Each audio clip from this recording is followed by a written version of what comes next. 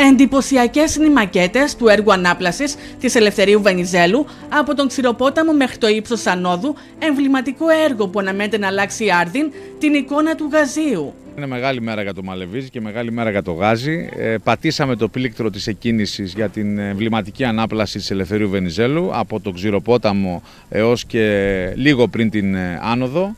Μία ανάπλαση περίπου 1,6 χιλιόμετρων και ύψους 7,5 εκατομμυρίων ευρώ που ουσιαστικά αλλάζει τη φυσιογνωμία και τη φιλοσοφία της πόλης μας. Ο Μενέλαος Μποκιάς πάτησε το πλήθρο της εκκίνησης του διαγωνισμού των 7,5 εκατομμυρίων ευρώ για το μεγάλο έργο ανάπλασης, για το οποίο έχουν εξασφαλιστεί χρήματα από το Ταμείο Ανάκαμψης. Πατάμε το κουμπί σημαίνει ανεβάζουμε στον αέρα το διεθνή διαγωνισμό και μέσα στις επόμενες εβδομάδες θα έχουμε τον προσωρινό ανάδοχο. Να πούμε ότι η ανάπλαση αυτή ξεκινάει ουσιαστικά σε λίγες μέρες από το τμήμα της Ανόδου όπου η χρηματοδότηση ε, έχει εγκριθεί από τον ΑΔΜΙΕ, από τα αποδοτικά του, της συμφωνίας που έχουν γίνει στην αρχή της ε, θητείας μας με τον ΑΔΜΙΕ.